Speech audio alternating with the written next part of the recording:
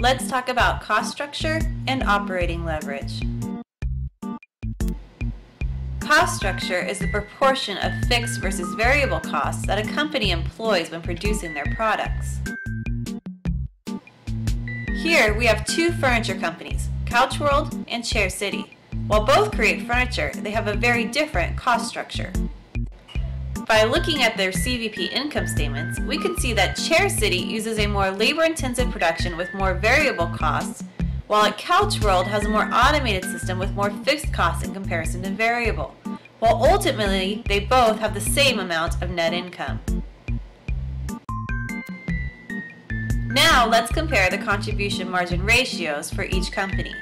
Due to the high variable costs, Chair City's ratio is 40%, while Couchworld with much lower variable costs has a higher ratio of 80%. This means that with each sale of Couchworld's products, more money is used to cover fixed costs. The difference is also reflected in each company's break-even point. The break-even point for Chair City is much lower than that of Couchworld.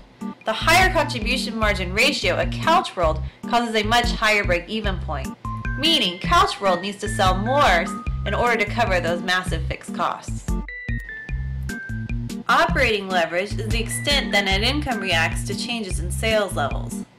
The degree of operating leverage is a measurement of that reaction. We calculate it by dividing the contribution margin by net income.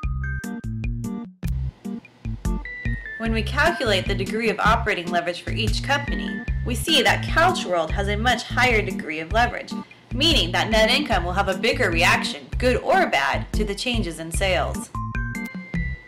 This graph shows the actual net income that each company would have based on the same sales levels. You can see that Couchworld's net income changes more drastically. This degree of operating leverage is something that management needs to consider when making decisions.